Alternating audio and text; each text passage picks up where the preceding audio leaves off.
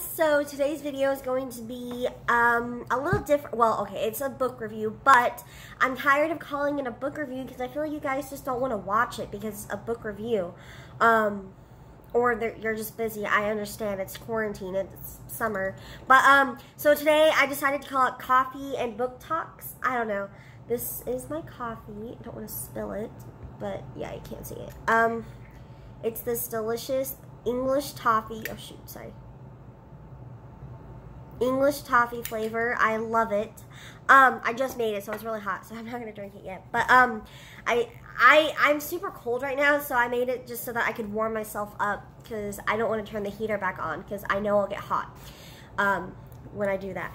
So okay, so this is the book review on the second book of the Caraval series, and I know I didn't do a book review on the first one, but I kind of told you what it was about.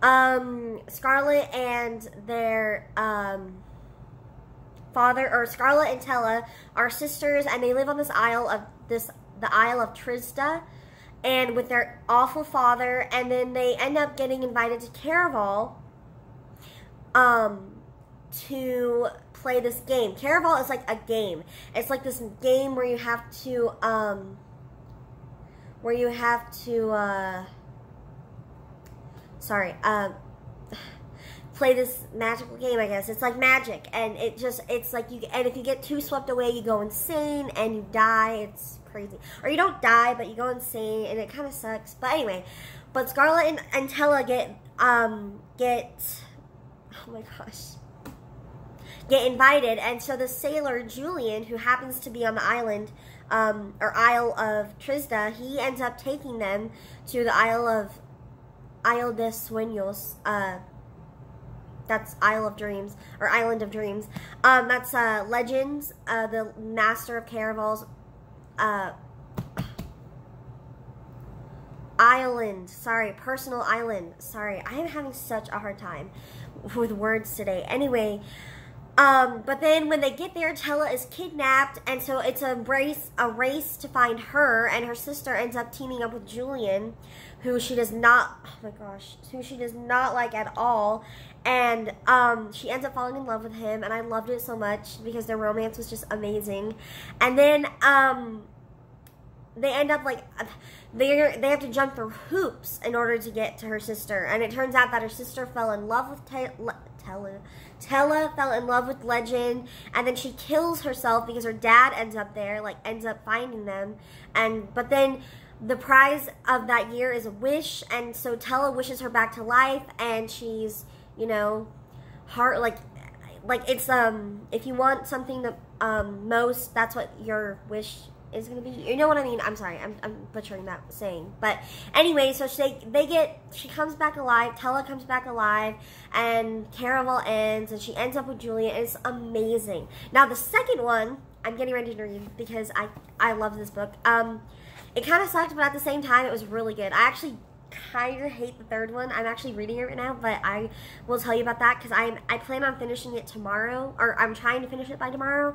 Um, so that I can do the other book review because on Saturday I'm going to start ACOTAR and I'm so excited. All right, so this is what the book looks like. It's so beautiful. I love it. Like the first one had like the star and then like, or I don't know, but it just, it was, the first, they're all beautiful, but I, this one is my, the first one and this, this one is my personal favorite. The third one is not really my favorite. It's just not, I don't know. It's kind of, I feel like it's kind of bland or something. Like, I don't know. I feel bad for saying that because, I mean, they worked so hard on these covers. I just don't like it. It's not my favorite. All right, so let's get started. A heart to protect, a debt to repay, a game to win. After being swept up in the magical world of Caraval, Donatella Dragna has finally escaped her father and saved her sister Scarlett from a disastrous arranged marriage. The girl should be celebrating, but Tella isn't free yet isn't yet free. She made a desperate bargain with a mysterious criminal, and what Tella owes him no one has ever been able to deliver. Caraval Master Legend's true name. The only the one eh, the only chance of uncovering Legend's identity is to win Caraval. So Tella throws herself into the legendary competition once more, and into the path of the murderous heir to the throne, a doomed love story, and a web of secrets, including her sisters.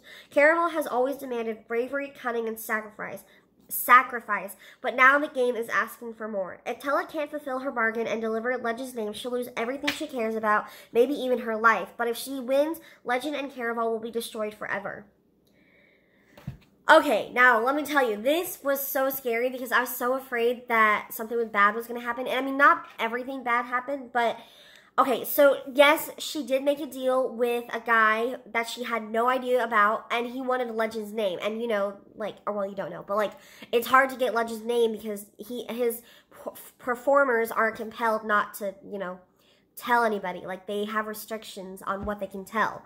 But Tella ends up finding out that the heir to the throne is a fate, and a fate is an evil per is an evil magical being who is heartless. Like they literally are heartless, and they have nothing. Like they they think humans are nothing. Like they use them for entertainment. It's just anyway. She finds out that that is her friend, and also the heir to the throne.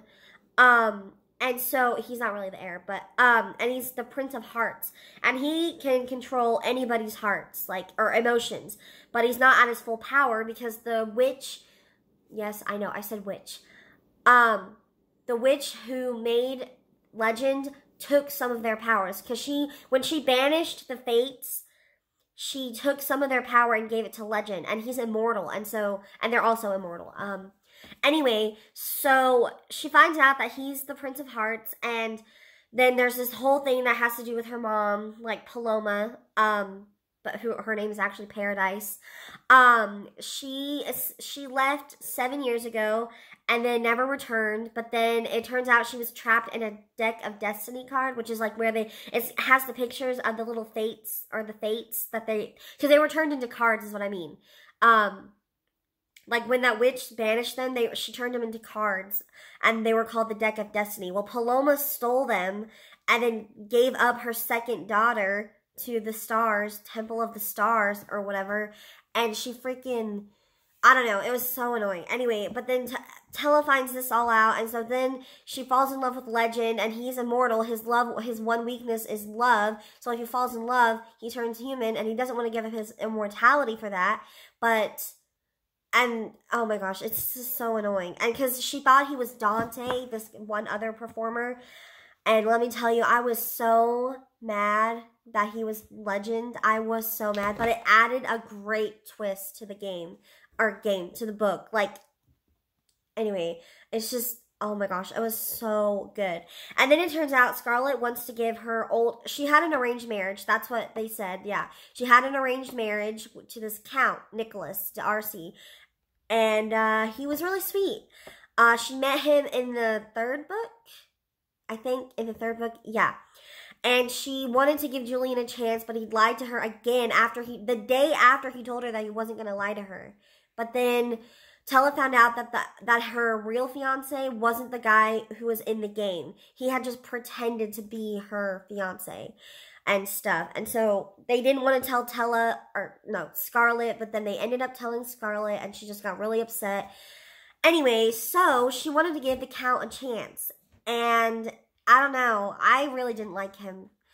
I feel like Julian really is her one true love because he makes her he makes her try adventurous things and it's just it's so good. And their relationship is so sweet. Like oh my gosh. Anyway but then it turns out that paloma like i said she was trapped in that card but they had no idea she was a criminal. She loved to live off of um off danger and in danger. Like she just loved it. And it was so good. And then i don't know it just it took a twist when Tella got trapped in the card, but then, um, oh, oh, oh, hold on, I need a drink. Wow, this is really good. Um, I forgot. Okay, so the Fates have like one weakness, and it said that the Prince of Hearts had one girl. Like he can make any girl fall in love with him. He had one girl that would make his heart beat because like his heart wasn't he was dead inside and all this stuff like he didn't have a heartbeat. And he